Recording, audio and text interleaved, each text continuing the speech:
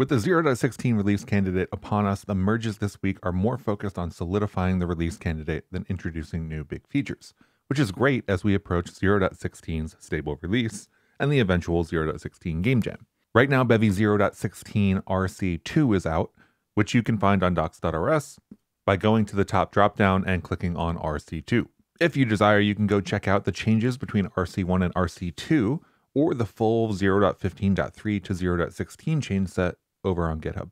Speaking of the release candidate, the Better Release Notes Working Group and the 0.16 Release Gang working groups are improving the release process with a new release tagging content workflow, as well as a helpful guide to migration guides. This kind of work is really responsible for the great reputation that Bevy's release notes and migration guides have, so it's really great to see this continuing investment.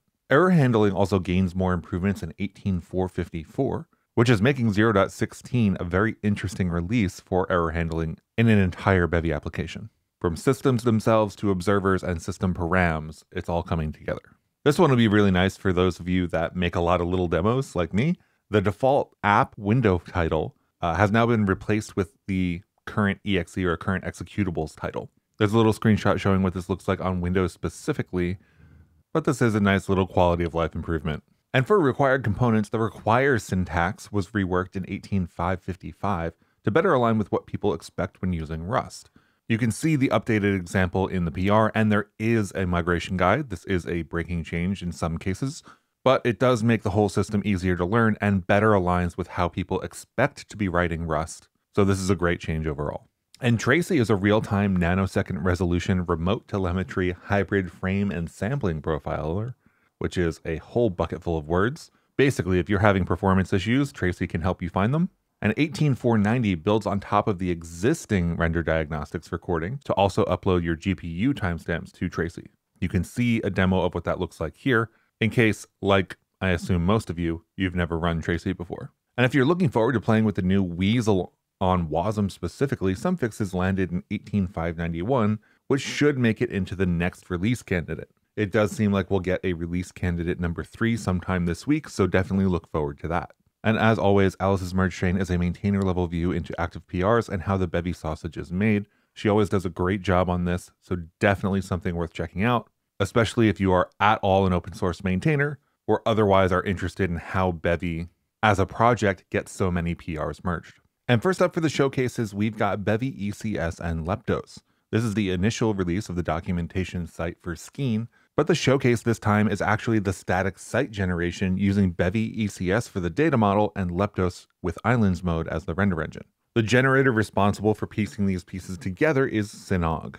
Being the person who actually built this site, I'm very happy with these technologies and how they work together, and it's really interesting to see how Bevy ECS can be used as a data model for something that isn't even close to a game. And next up from websites to color themes, which are very web related, Bevy UI inspired color themes in this case, including a classic dark mode live switching inside of a game. And our next demo is a Game Boy Advance demo, which is going to be pretty bright.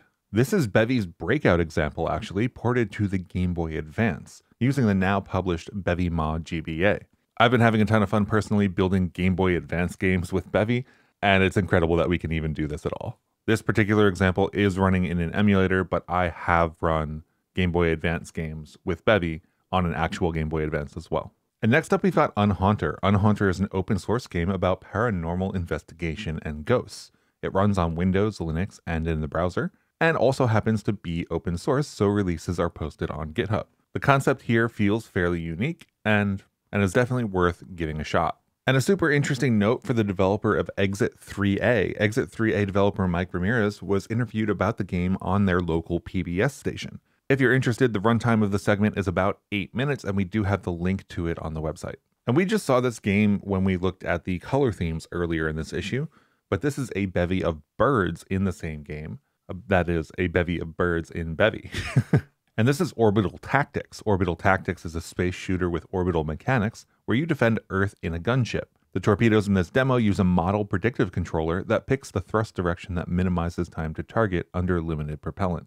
This one is one you can go play on itch.io. And while it's nice to see things on itch, it's also nice to see things go to Steam. This is Simulo. Simulo is a multiplayer physics sandbox with Lua scripting that currently supports Box 2D with Rapier support coming soon. The author says that adding Rapier support was not a huge lift due to the way they implemented Box2D in the first place. This one is available to wishlist on Steam. And node graph scripting is something that other ecosystems tend to have, for example, Blender or other game engines. The goal of this demo is to take advantage of Bevy's reflection infrastructure for functions and values and use that to create node graphs that will run as systems. This would support modding and scripting use cases inside of the Bevy ecosystem.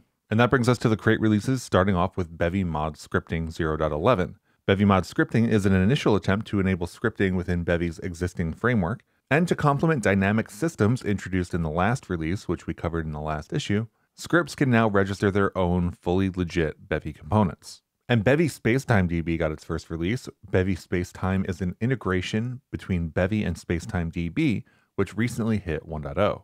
Now, I'm not super familiar with Spacetime DB, but it does seem like a hosted database for multiplayer game applications. And finally, this week, we've got Bevy Lint Laundry Day. Bevy Lint Laundry Day is a thread in a similar style to Alice's merge train, focused on Bevy's linter, Bevy Lint. Bevy Lint currently is available as 0.2, and you can see here in the thread, review the Bevy 0.16 compatibility PR is on the list. And that's it for this week. As always, we have the full list of PRs that were merged, as well as issues and PRs that were opened. If you're looking for things that might happen after 0.16, you might want to look at the open PRs. If you're looking at things that are making it into the 0.16 release, those will end up in the merged PRs this week. And of course, if you're interested in the 0.16 release candidate and testing it, make sure you file issues and check out the other issues if you're running into anything with your application. The 0.16 milestone does have everything left to do before the release candidate becomes the stable release. And that's it for me this week. I will see you in the next one. Have a great rest of your week.